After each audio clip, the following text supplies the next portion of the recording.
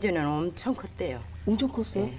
지금은 이제 이런 게 작황이 양도 적고 섬에들밖에 안 난 거요. 저, 저도에서는 네. 아주 먹고 죽지도 없어. 먹고 죽지도 없어. 우리 섬아도만 이거 낮에 딴 데는 절대 없어요. 그러고 닭하고 간오면 그렇게 맛있고 둘이 먹다 한 잔 죽어도 몰라. 아 진짜요? 어? 확실해요, 진짜- 어머니? 진짜예요, 진짜. 먹고 죽을 일도 없다며. 우리가 못 먹어. 못 먹어요? 뜸부기는 청정 다도의 일급수 해역에서만 자라는 해초인데요. 주로 진도 조도 인근에서 수온이 높아지는 6월에 가장 많이 납니다. 예전에는 바위에서 넘어져도 뜸부기에 걸려 다치지 않을 정도로 많았다는 진도 특산물인데요. 특히 진도에서는 제사상에 반드시 뜸부기를 올려야 했다고 합니다. 그만큼 다른 해초들과는 남다른 대접을 받아왔는데요.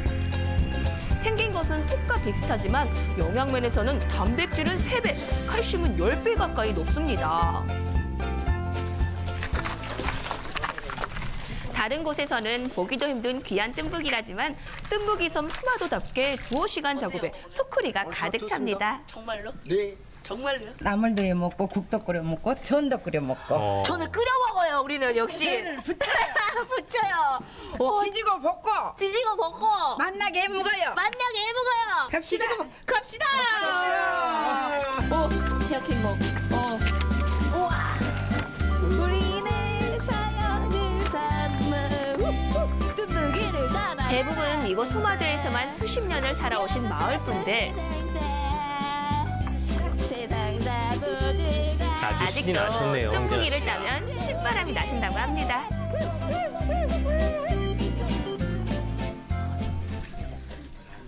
뜸부기가 맛있게 변신하는 시간. 먼저 물을 팔팔 끓여주는데요. 뜸부기를 데치기 위해서입니다. 다시 색깔 한번 봐봐. 어. 뜨거운 물을 붓자마자 보이시죠? 푸르푸르 습하해지는 뜸부기. 이야 신기하네요. 네, 뒤적기적 골고루 잘 데쳐주면 동글동글한 마디 속에 공기가 볼록 차올라 탱탱해집니다. 아니 어떻게 도대체 이렇게까지? 신기하시죠? 잘 데쳐진 뜸부기는 찬물에서 두어 번 다시 헹궈주는데요.